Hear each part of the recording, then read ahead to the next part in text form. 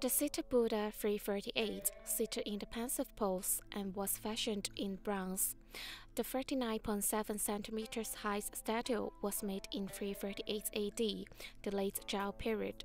That is presently in the San Francisco Asian Arts Museum with number B60B1034S.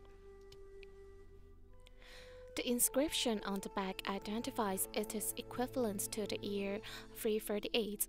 This is the earliest date inscribed on any Buddha sculpture from China anywhere in the world.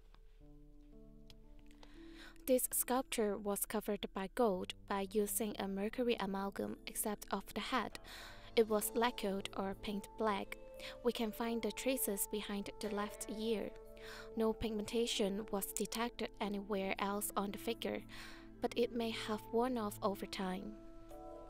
There is a square protrusion sticking back of the head with a round hole in the middle. It suggests that something was once attached to the back of the Buddha, most likely an umbrella. In the front, we can see the piece have three circular holes which were attached to originally some description of him, or most likely would have supported a pair of guardian lions on either side. The metal walls around pedestal are approximately 2 mm thick, but the thickness of the wall vary widely. The upper half, including the neck and head, is much thicker than the knees or the base. This degree of variation points to the use of a shaved down core that is associated with the use of a peace mode. The Buddha seated on the rectangle pedestal in a pensive pose, with legs crossed beneath a draping robe. Its hands are placed against the stomach instead of palms up on the lap. It has the typical features of the Buddha. There is a wavy hair arranged in an Ushnisha atop of his head, which represents the amount of brain power and knowledge it has.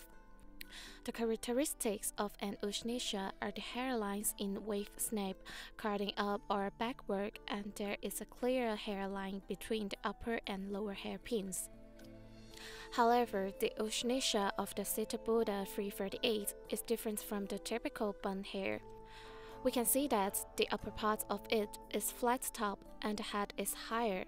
His hair is combed down and the hair is like a drooping bangs. The hairline is prominent and covers a wide forehead. Obviously, the inverted V hairline is divided into two parts in the middle of the forehead. The right side is parallel to the left side in a regular way. Also, its hairline have been sorted out. The front of the forehead has a hairline and distribution boundaries. There is no obvious foreign trace we can observe from the Ushnisha of the Seated Buddha 338. The Buddha has not entirely been transformed yet into Chinese-looking deities. Their facial characteristics and clothes are instead markedly Indian. It was influenced by Buddhist sculptures of the ancient region of Gandhara, which include parts of present-day Pakistan, Afghanistan, and northwestern India in overall. Note its prominent nose, pointed chins, and its strong Gandhara-style clothing. It wears a wide sleeve over the shoulder coat. The clothes are dropped from the shoulders to the chest and then hanged to the past. The sleeves are on the lap, and the pleats of the lower placket of the hand are the same as the chest. Looks like the vertical scale. In each of the details, the statue actually shows the Gandhara gnome. However, by looking at this Buddha, we can see that it's thin eyebrows and there's no beard on the upper lips.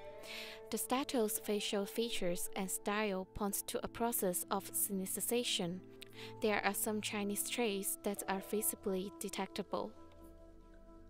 This sculpture is the earliest known dated Buddha object produced in China dated 338. This date, which is more than 400 years after Buddhism was conveyed from India to China via the Silk Road, makes it an important milestone in the development of Buddhist art in China. This Buddha is among the largest bronze sculptures to have survived from this period.